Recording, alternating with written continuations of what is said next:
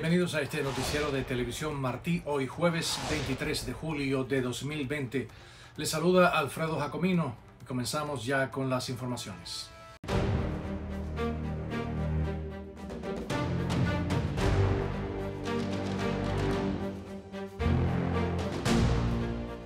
La Comisión Interamericana de Derechos Humanos tomó medidas cautelares por el delicado estado de salud en el que se encuentra el preso político cubano Silverio Portal Contreras, especialmente porque en el año 2018 habría sufrido un ataque isquémico transitorio que le dejó una parálisis parcial y a inicios de este año sufrió otra isquemia.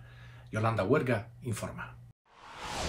La Comisión Interamericana de Derechos Humanos otorgó una medida cautelar para la protección del prisionero político cubano Silverio Portal Contreras. Nos complace que el día 22 de julio se nos haya notificado sobre el otorgamiento de las medidas cautelares otorgadas a favor del prisionero político Silverio Portal Contreras. Confirmó Carlos Quesada, director del Instituto Internacional sobre Raza, Igualdad y Derechos Humanos, asentado en Washington, D.C. Lo que nos motivó a solicitar las medidas cautelares es el delicado estado de salud en el que se encuentra el señor Portal Contreras, porque él en el 2018 habría sufrido un ataque isquémico transitorio que le dejó una parálisis parcial. A inicios de este año también le dio un ataque isquémico transitorio. Además, tuvimos información sobre ataques y malos tratos por parte de las autoridades penitenciarias. Conforme al artículo 25 de su reglamento, la comisión solicitó información al Estado cubano el 18 de junio de 2020 y hasta la fecha no ha recibido respuesta. Esperamos que el gobierno cubano finalmente pueda cumplir con sus obligaciones internacionales. La organización intercontinental solicita al régimen cubano que adopte las medidas necesarias para proteger la vida e integridad personal de Silverio Portal Contreras. Asimismo, pide que informe sobre las acciones a fin de investigar los presuntos hechos. Portal Contreras cumple una sentencia de cuatro años de privación de libertad por supuestos desacato y desorden público debido a una protesta pública que realizó contra la incapacidad del gobierno cubano de evitar los derrumbes de edificios que han costado la vida a decenas de ciudadanos. Yolanda Huerga, Radio Televisión Martín. Cuban Prisoners Defenders exigió a la alta comisionada de derechos humanos Michelle Bachelet que si la ONU ha condenado el embargo comercial de Estados Unidos a Cuba, debería hacer lo mismo con el bloqueo de los derechos humanos a todos los cubanos. Salvador Blanco tiene los detalles. Cuban Prisoners Defenders pidió a la alta comisionada de derechos humanos de Naciones Unidas, Michelle Bachelet, que se pronuncie contra las violaciones de la seguridad del Estado contra los derechos humanos luego de que el organismo internacional presentara en los últimos 15 meses 19 resoluciones y cartas acusatorias contra el régimen de la isla.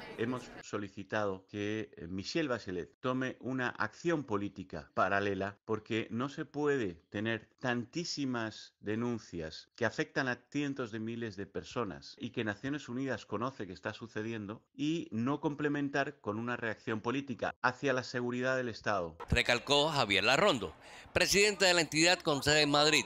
El descrédito del Ministerio de Relaciones Exteriores de conjunto con el sistema judicial de la isla crece cada día más ante la ONU a causa de la impunidad que disfruta la seguridad del Estado que actúa al margen de la ley, advirtió la organización. La seguridad del Estado es una entidad oscura que no responde a nadie salvo al dictador y que además es el yugo contra el que lucha incluso el propio funcionario del Estado. Apuntar hacia auténticamente el máximo responsable de algo que no puede ser negado y es la violación sistemática de los derechos humanos en Cuba. Cuban Prisoners Defenders exigió a Bachelet que si la ONU ha condenado el embargo comercial de Estados Unidos contra La Habana, debería hacer lo mismo con el bloqueo de los derechos humanos contra todos los cubanos. Salvador Blanco Noticias, Radio Televisión Martí. La organización Human Rights Watch señaló que el gobierno cubano impone normas draconianas a los médicos en las misiones sanitarias que vulneran sus derechos fundamentales. Los gobiernos que solicitan asistencia de trabajadores de la salud cubanos para responder a la pandemia de COVID-19 deben exigir a las autoridades cubanas que reformen las leyes y reglamentos aplicables que vulneran, entre otros, los derechos a la privacidad, la libertad de expresión y asociación y el libre movimiento, señala un informe publicado por la organización. Las reglamentaciones oficiales del gobierno cubano establecen que los trabajadores pueden recibir sanciones disciplinarias si entablan amistad con personas que tengan opiniones hostiles o contrarias a las de la revolución cubana. Los trabajadores sanitarios también pueden ser sancionados si abandonan su trabajo, añade el informe. Los médicos cubanos enviados a responder a la pandemia de COVID-19 ofrecen valiosos servicios a numerosas comunidades, pero a costa de sus libertades más básicas, señaló José Miguel Vivanco, director para las Américas de Human Rights Watch. Con motivo del octavo aniversario de la muerte del opositor cubano Osvaldo Payá, un grupo de senadores estadounidenses, republicanos y demócratas, varios de ellos de origen cubano, ha vuelto a proponer que cambie el nombre de la calle que ocupa la Embajada de Cuba en Washington, D.C., para que sea rebautizada como Osvaldo Payá El senador Marco Rubio dijo que Payá pagó con su vida tener el coraje de defender los principios democráticos y denunciar a la dictadura comunista en su amada Cuba, y que al nombrar la calle frente a la Embajada de Cuba como la Osvaldo Payá los estadounidenses honrarán la vida de ese mártir. El también senador republicano Ted Cruz destacó que Osvaldo Payá dedicó su vida a luchar por el pueblo de Cuba en contra de las atrocidades del comunismo y que es un honor promover el proyecto de ley que respalda al pueblo de Cuba en su lucha contra la violencia y opresión comunista de Raúl Castro y su sucesor Miguel Díaz Canel. Asimismo, el senador demócrata Bob Menéndez manifestó sentirse orgulloso de rendir homenaje a una de las personas más visibles y líder de la oposición pacífica de Cuba. Como le he dicho a su hija Rosa María, usaré el poder de mi voz y oficina para que el mundo no se olvide del legado de su padre, dijo Menéndez. El senador demócrata por Illinois, Dick Durbin, señaló que Payá fue una voz valiente por la justicia y democracia en Cuba y que su sospechosa muerte ha sido un golpe trágico para el progreso en Cuba. Desde hace tiempo he pedido una investigación imparcial sobre su muerte y esta resolución honra su vida y legado, dijo el legislador. Dos caras de una realidad. El Estado no tiene carne de cerdo para ofertar y el particular sí. Es la ley de la oferta y la demanda que vive la isla comunista. Perjudicado el cubano de a pie. Luis Guardia tiene reacciones desde la oriental provincia de Guantánamo. Comemos de lo que venden en la bodega, de lo poquito que se resuelva por aquí, poquito por allá, pero no puedo, porque no, desde que empezó el COVID no, no, he visto carne de puerco. La carne de puerco está pareciendo demasiado cara, de 40, hay quien la ha vendido hasta más cara, ¿ve? El que la tiene, porque como dicen, yo la tengo, el país no la tiene. La carne de cerdo la más fácil de adquirir en la isla en tiempos de crisis, escasea. Con la apertura de la tienda Los Muchachos, se amplía la red de locales para esta modalidad en el territorio más oriental. Esta es la inauguración de una de las nuevas tiendas en moneda libremente convertible en la oriental ciudad de Guantánamo. Y como nos explica este entrevistado, la oferta de productos cárnicos es nula. Que las tiendas además por la situación que hay, están bastante desabastecidas y por lo menos esta le han puesto algo. Lo único que no tiene carne, que es una cosa fundamental ahora en la población. El déficit de productos provoca la natural competencia. Según expertos, los precios en el mercado paralelo o mercado negro aumentarán significativamente, dejando completamente desprotegido al cubano de a pie. Un hombre o una persona aquí en Cuba, para ganarse un dólar, ¿tú sabes cuánto tiene que trabajar? El salario promedio en Cuba es aproximadamente equivalente a unos 30 dólares mensuales, por lo que los precios con esta nueva modalidad de venta en dólares son prohibitivos para la mayoría del pueblo. No está en la posibilidad de todo ciudadano cubano de tener el dólar americano. Aceite normal, la, la que la población puede comprar, no la hay. O sea que la que hay es bastante cara, que bueno, ustedes pueden saber la, el Fondo Monetario de la gente no está al alcance de todas esas cosas. De esta forma se ha creado en Cuba un apartheid económico. Porque hay quien lo tiene, pero hay quien tiene que trabajar y sudar para poderlo comprar y si puede hacerlo. Lo que ganamos no nos da ni para sostener a nuestros hijos. ¿Tú no te acuerdas de lo que dijo él? No, no se le puede subir los precios a nada. Mira cómo están las cosas. Y el pueblo sufriendo y pasando hambre. Pásame por lo que quiera. Dos caras de una realidad. Unos pueden y la mayoría no. Con estas medidas el régimen castrista elimina la denominada sociedad igualitaria, uno de los postulados de la llamada Revolución cubana. Luis Guardia, Radio, Televisión Martí. La dama de blanco Xiomara Cruz Miranda, tras largos meses de estar ingresada en un hospital de Miami, fue dada de alta y se encuentra en franca mejoría y recuperación. Ricardo Quintana tiene esta historia. Luego de 180 días en un hospital de Miami, pues Xiomara Cruz Miranda vuelve a la vida, pero aún débil. Por delante le queda un buen trecho de consultas y tratamientos médicos.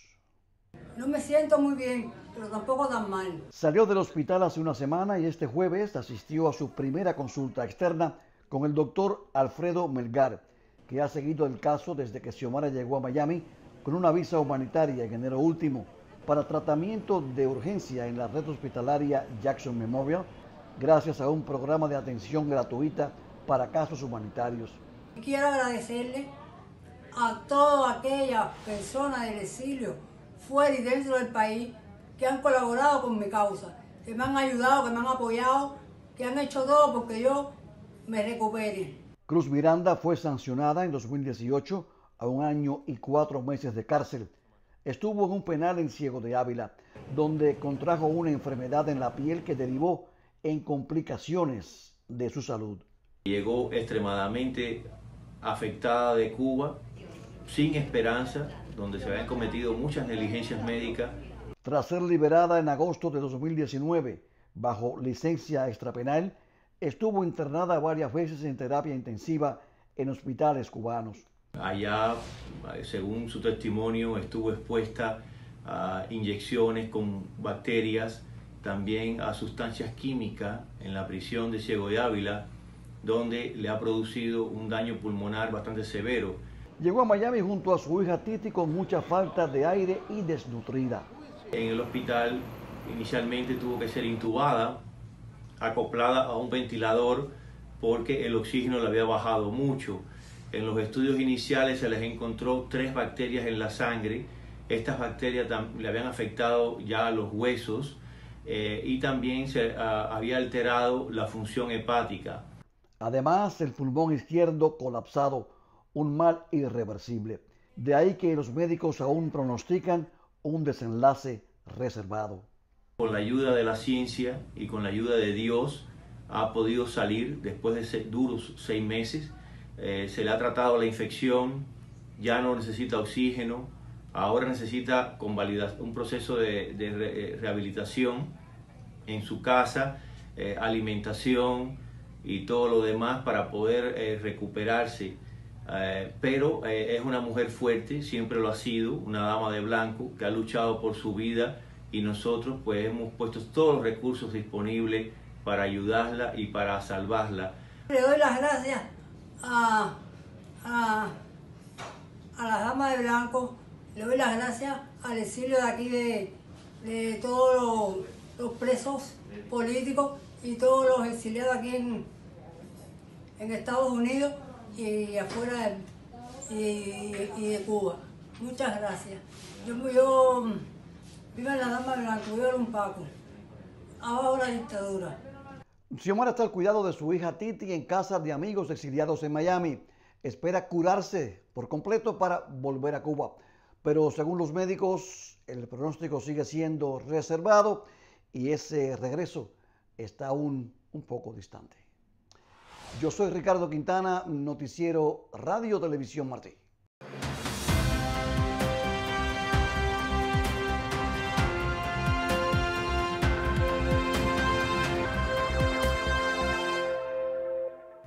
El secretario de Estado de Estados Unidos, Mike Pompeo, continúa su gira oficial por Europa, haciendo escala esta vez en Dinamarca. Agencia francesa de prensa tiene los detalles. El jefe de la diplomacia estadounidense Mike Pompeo viajó el miércoles a Dinamarca, donde hizo hincapié en la nueva competencia en el Ártico en alusión a los objetivos de las grandes potencias en esta región, incluida China. La cooperación democrática de Dinamarca en cuestiones árticas es loable. El año pasado, en una reunión del Consejo Ártico, pedía a las naciones libres que trabajen con Estados Unidos para consagrar valores compartidos como libertad, transparencia, soberanía y sostenibilidad en la región. La misión es aún más urgente ya que enfrentamos una nueva competencia en la región de países que no siempre cumplen con esas reglas, si es que lo hacen. El gobierno danés considera a Washington su aliado más cercano, pero las buenas relaciones se vieron afectadas en agosto de 2019 por una oferta inesperada del presidente Donald Trump, quien se mostró interesado en comprar Groenlandia. Esa discusión se trató el año pasado, no estuvo sobre la mesa en nuestra discusión. Por el contrario, tuvimos una buena y fructífera reunión, como dijo el secretario Pompeo. Mis colegas de Groenlandia y las Islas Faroe, los cuatro, discutimos cómo podemos fortalecer nuestra cooperación en una amplia gama de áreas. Es la segunda escala en el viaje de Pompeo, que un día antes había estado en el Reino Unido.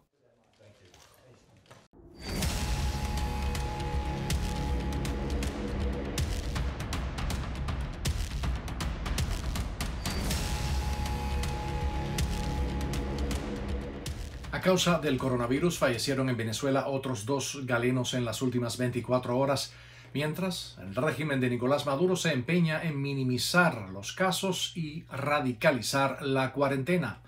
Alejandro Marcano Santelli tiene esta información. Una oftalmóloga y un cirujano son las nuevas víctimas del COVID-19. Esta semana se contabilizan 13 médicos fallecidos tan solo en el estado Zulia. José Oberto, jefe de salud del Zulia, hizo la denuncia y el pronóstico hace dos años, cuando ni siquiera este virus del COVID-19 se asomaba como una peligrosa pandemia. ¿Quién está haciendo mal? ¿Es el gremio médico? ¿Es el médico a quien se le muere el paciente? ¿O es el gobierno que no está dando los materiales necesarios para la prestación de servicios.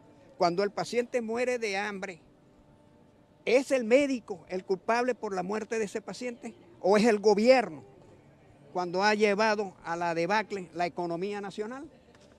Por Dios.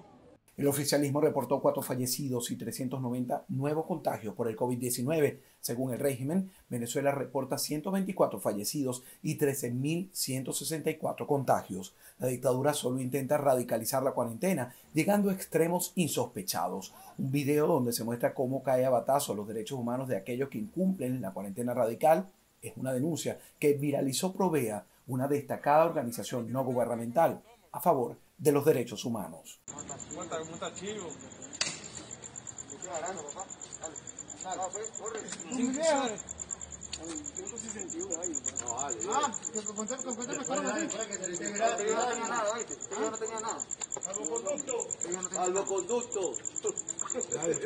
Tiene un carnet ahí.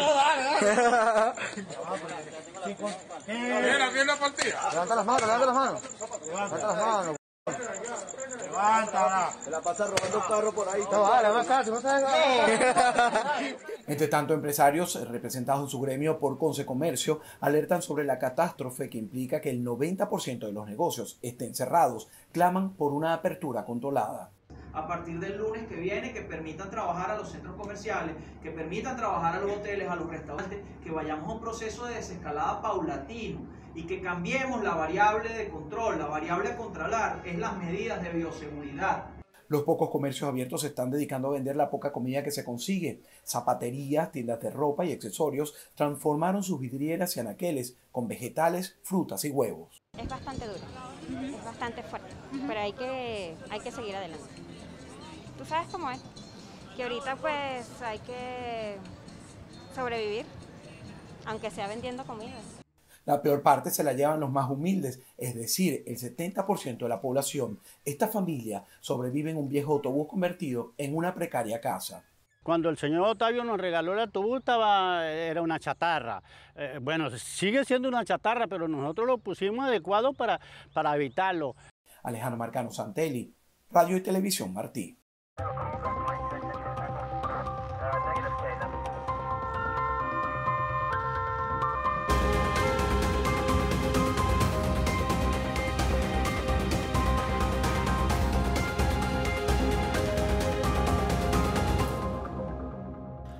América Latina presenta ya casi 4 millones de contagios por coronavirus, mientras continúa aumentando el número de víctimas mortales a causa de la enfermedad.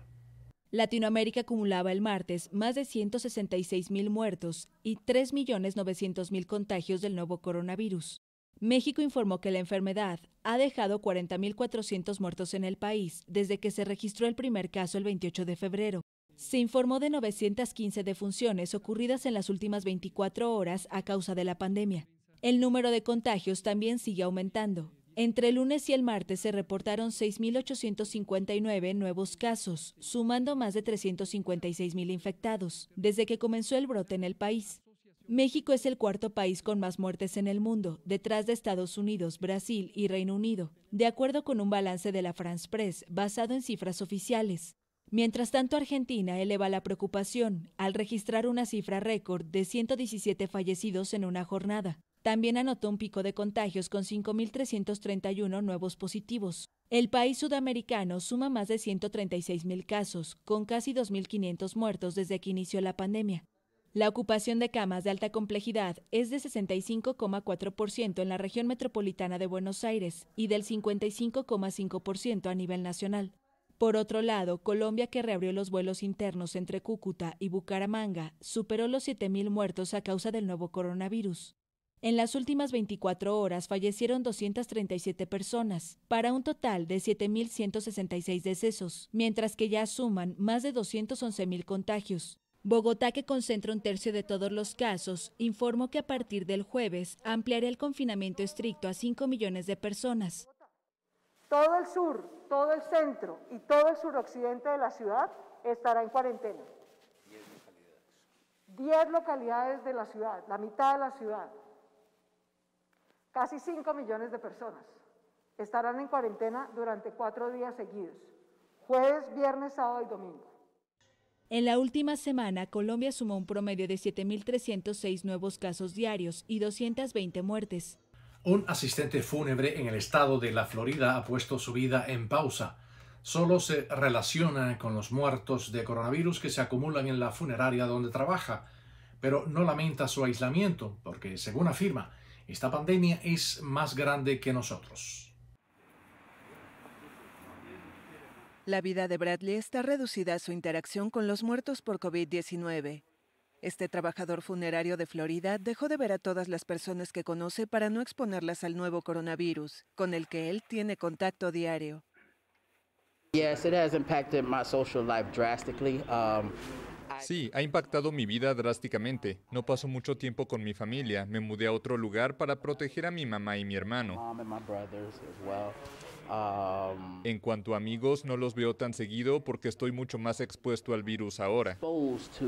Exposed to this virus much more now. Con más de 5.000 muertes y cerca de 10.000 nuevos casos diarios, Florida es el nuevo epicentro del coronavirus en Estados Unidos, junto a los otros estados sureños de Texas y Arizona.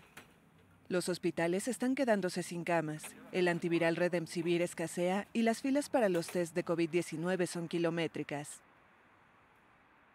I do expect numbers to keep growing. Uh, I do expect us. Sí, estimo que los números seguirán aumentando.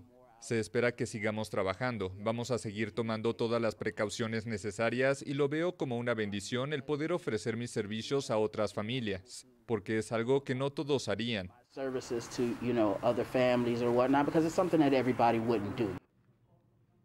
A pesar de este aumento, las funerarias están oficiando menos entierros debido a los temores de contagio y están optando por la cremación.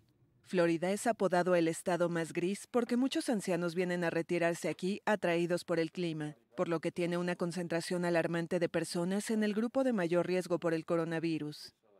El 20% de la población de Florida tiene más de 65 años, según un estudio del Population Reference Bureau de 2019. Calificando el hecho como una jornada histórica, Brasil anunció que comenzó las pruebas de la fase 3 con la vacuna CoronaVac para enfrentar al coronavirus. Brasil es el primer país en iniciar las pruebas en fase 3 de la vacuna china CoronaVac contra el nuevo coronavirus. Así lo informó el martes el laboratorio Sinovac a la AFP. En tanto, el gobernador de Sao Paulo, Joao Doria, lo calificó como jornada histórica en rueda de prensa desde el Hospital das Clínicas. Acabamos de assistir a aplicação Acabamos de ver la aplicación de la vacuna Coronovac en el primer voluntario, de hecho una voluntaria, una médica en el Hospital Das Clínicas. Su identidad debe ser reservada. Precisa ser preservada. Unas 20.000 dosis llegaron la madrugada del lunes a Sao Paulo. Además de la doctora generalista de 27 años, médicos y paramédicos voluntarios recibirán la vacuna en los próximos tres meses como parte del convenio entre el laboratorio chino y el prestigioso Instituto de Investigación brasileño Butantan.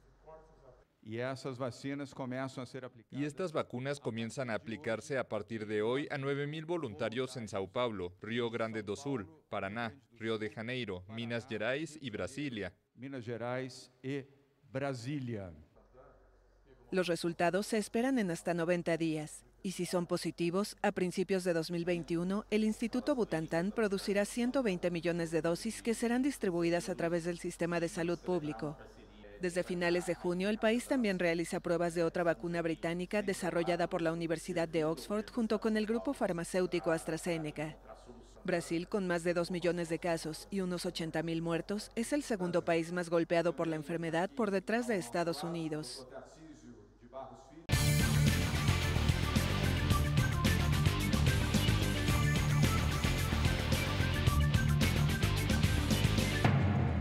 ¿Qué tal? Bienvenidos a los deportes. Soy Bobby Salamanca Jr. Los Dodgers de Los Ángeles y el pelotero Mookie Betts llegaron a un acuerdo por 365 millones de dólares. La extensión de contrato abarca 12 temporadas y pone al jugador con el uniforme de los Dodgers hasta el año 2032. Este contrato incluye un bono al firmar de 65 millones. Se trata del acuerdo de mayor bolsa que se haya firmado en las mayores a modo de extensión o como agente libre. La marca anterior era de Mike Trout con 360 millones aunque el amarre del Slugger con los angelinos fue de 10 temporadas. Y pasando al boxeo, el legendario Mike Tyson saldrá de su retiro para enfrentar a Roy Jones Jr. el 12 de septiembre. Ambos ex pugilistas cuentan con más de 50 años de edad. Para el combate utilizarán guantes de 12 onzas, más grandes de los que se utilizan en el profesionalismo. Y el jugador Russell Westbrook regresó a las prácticas de los Rockets de Houston luego de recuperarse del COVID-19. Westbrook se mantuvo aislado durante 10 días. El jugador había anunciado su resultado positivo a coronavirus el 13 de julio, aunque su caso fue prácticamente asintomático. Los Rockets emitieron un comunicado en el que expresan que el defensa se encuentra saludable y listo para ayudar al equipo. En Inglaterra, los hinchas del Liverpool pasaron por encima de las regulaciones sanitarias para celebrar el título de su equipo en la Liga Premier. De nada valió que a los fanáticos se les prohibiera la entrada al estadio. Miles de ellos se reunieron en las afueras del Enfield donde el Liverpool recibía en sus manos el título de campeón de la Liga Premier.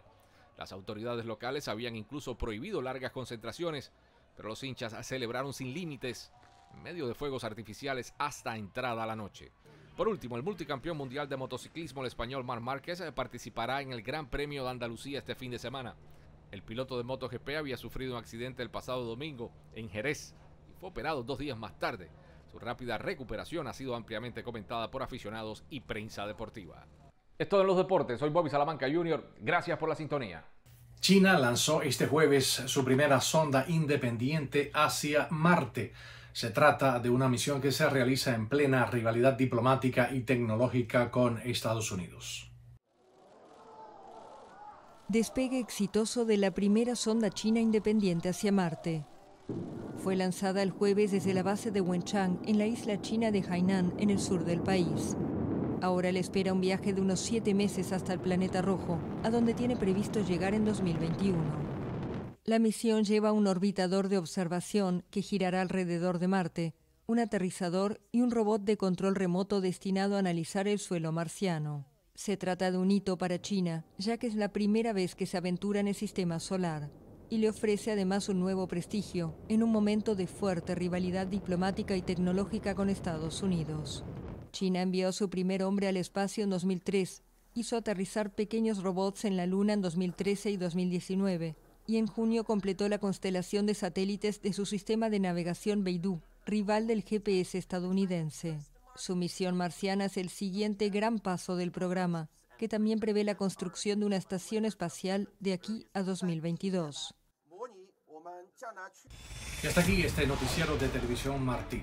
A todos, muchas gracias por la sintonía y será hasta la próxima.